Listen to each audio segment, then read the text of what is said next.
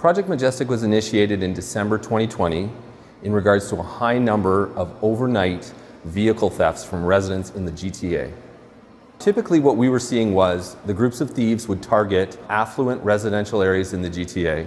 They would scout, generally scout cars um, in the early evening hours, returning in the early morning hours. Uh, they would force entry to the vehicle, and then at that point, they would be reprogramming the car's computer to recognize their own fob, so a brand new key fob for the vehicle, and then complete the theft by removing it from the resident's driveway.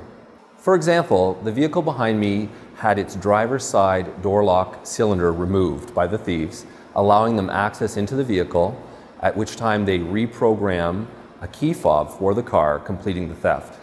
The total time that this vehicle would have needed to be stolen would have been under five minutes.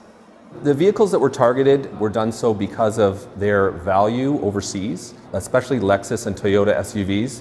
They're quite valuable um, in the ports that we were, they were being shipped to.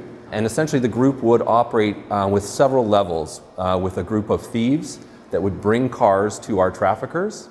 The traffickers would then containerize those vehicles in sea containers and ship them to two main ports in Nigeria and Ghana. We have also seen um, the Middle East being a newer area where vehicles are shipped, with the majority of the cars going to the United Arab Emirates.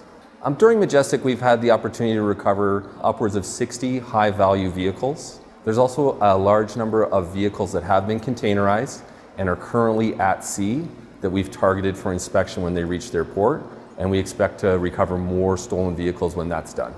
Majestic was um, formed with the idea of having multi jurisdictions involved.